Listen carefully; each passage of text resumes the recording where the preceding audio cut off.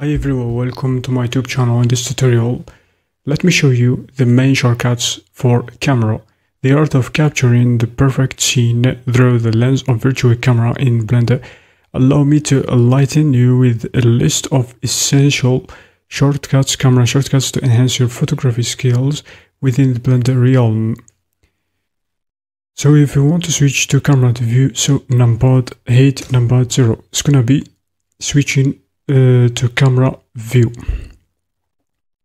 Alternatively, you can go over there, then cameras, then active camera, like this. Camera, then active camera is going to be switching to camera view. The second shortcut is how to orbiting around the camera Orbiting around the camera, you should use the middle mouse button or Alt plus left mouse button. So to zoom in or out, uh, scroll middle mouse like this. To zoom in or out, or control middle mouse button, panning, shift middle mouse button like this or shift alt left mouse button shift alt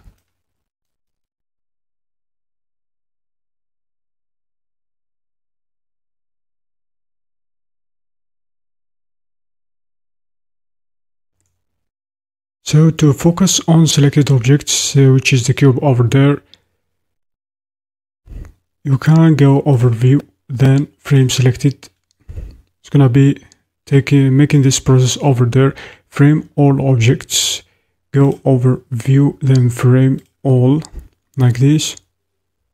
So to move the camera select uh, G then move it like this. G to move. S to scale like this.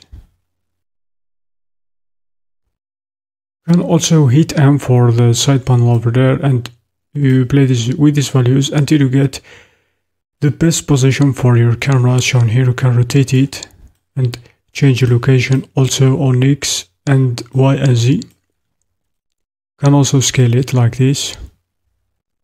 If you want to set the camera keyframes with the camera selected, press I like this. And you can insert keyframe menu and set the keyframe type location rotation etc. or alternatively use the keyframe menu in the timeline. For example, I have the camera at this uh, position over there, so how to set it in order to see the object from this position where we are. So Control Alt 0 is gonna be setting the camera and position it like this and you can grab it over there, hit G hit numpad 0 and you set the camera from any position you want. For example from this position control alt 0 is gonna be set the camera at the position where we are want to see the object from. And that's it for this tutorial. See you in next tutorials. And new tutorials about shortcuts in detail. And thanks for watching